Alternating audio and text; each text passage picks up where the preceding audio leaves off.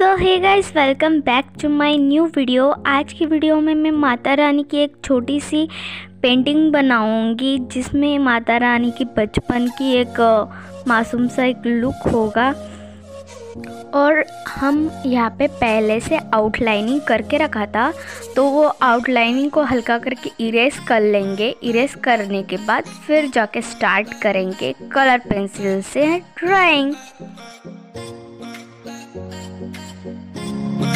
सो so guys हमने यहाँ पे पहले आइस को ड्राइंग करने के लिए पहले ब्राउन कलर का यूज़ किया है। ब्राउन के बाद डार्क ब्राउन फिर जाके ब्लैक कलर का यूज़ किया है। अगर आप ऐसे स्टेप बाय स्टेप करने लगोगे, फिर आपका आइस रियलिस्टिक जैसा लुक आएगा। यहाँ पे जो फोर हेड है, वहाँ पे भी हमने पहले येल्लो कलर का यूज़ किया है, फिर जाके रेड रेड के बाद फिर जाके ऑरेंज भी यूज़ किया है। जिधर जो कलर है अब्जॉर्ब करके अगर हम बनाए तो हमारा जो फ़ोटो है, वो रियलिस्टिक जैसा दिखता है। इसीलिए हमेशा कलर को अब्जॉर्ब करना चाहिए, फिर जाके बनाना चाहिए। कई बार देखा गया है कि ज़्यादातर लोगों को ये प्रॉब्लम होती है स्किन कलर देने में। तो स्किन कलर में ज़्यादातर यूज़ होता है लाइट येलो रेड ऑरेंज फिर जाके ब्राउन कलर ब्लैक कलर जो डार्क एरिया है लाइट एरिया में येलो कलर यूज़ होता है। मैंने जितना भी कलर किया मतलब बोला है, ये ज़्यादातर यूज़ होता है स्किन टोन के लिए। तो आप फ़ोटो को जूम कीजिए जूम जूम करने के बाद ऑब्जॉर्व कीजिए कि किधर कौन सा कलर आ रही है या फिर दूसरा कलर भी आ सकता है। सिर्फ़ आपको कलर को पहचानना होता है और वही सबसे ज़्यादा मुश्किल काम होती है। तो मेरे हिसाब से जूम कीजिए और अपने समझ के हिसाब से बनाते जाइए। आप प्रैक्टिस करते जाइए, फिर आपका भी रियलिस्टिक होने लगेगा।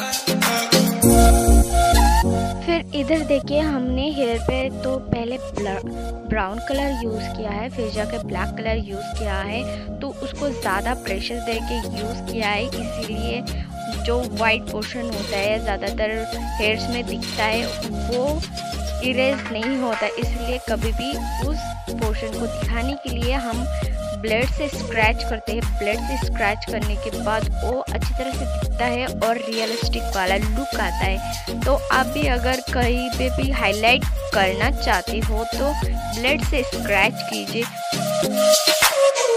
फिर हमारे इधर जो ज्वेलरी है, वो ज्वेलरी दिख रहा था तो वो ज़्यादा ही ब्लर था फ़ोटो में।